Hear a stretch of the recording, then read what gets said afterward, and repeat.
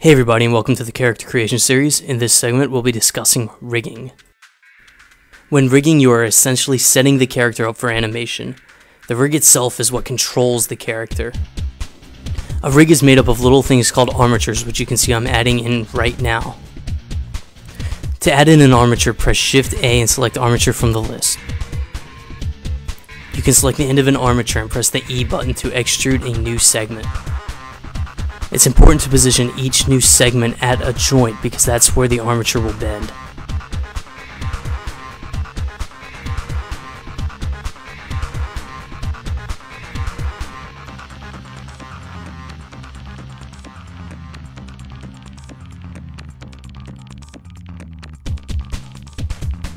You can duplicate bones by pressing Shift D.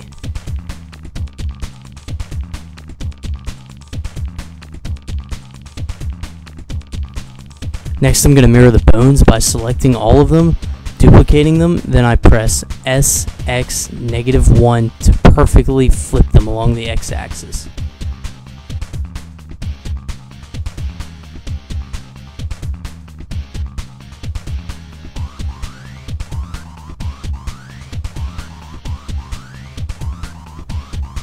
Right here, do the same thing for the legs.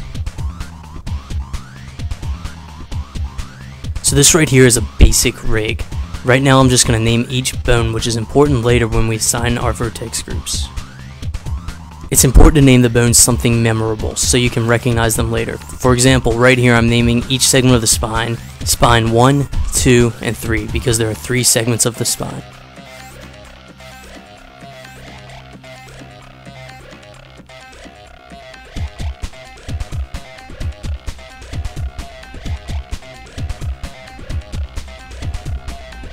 I usually use a naming convention such as .r .l depending on the left or right side of the model.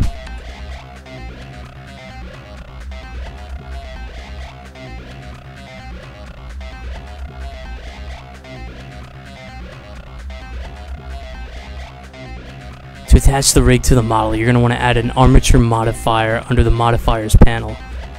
Once you add the armature modifier, select the armature from the drop-down list. After that, uncheck bone envelopes. Right here, I'm just simply parenting the fingers to the hand bone. This way, when you move the hand, the fingers will move along with it. As you can see right here, I parented the shoulders to the spine, so when you move the spine around, the shoulders move along with it. You can use vertex groups to assign a bone a certain group of polys to move around. You do this by clicking the plus sign, typing in the name of the bone, and then selecting the polys and clicking the assign button. Those polys will now move when you move that bone.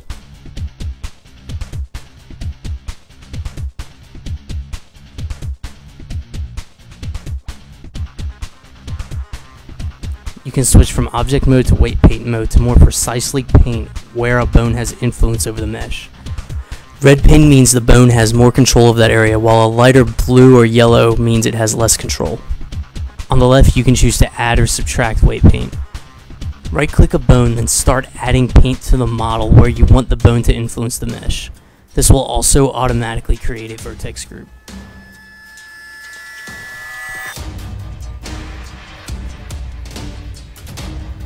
Weight painting is the best way to fine tune the influence a bone has over the mesh.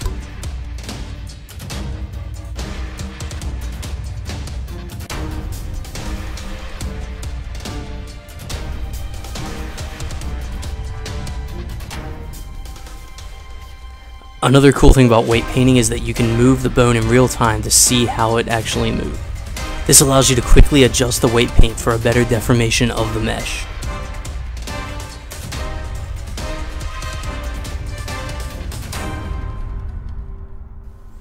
Alright, that's about it for this section. In the next video, we'll discuss the basics of animation.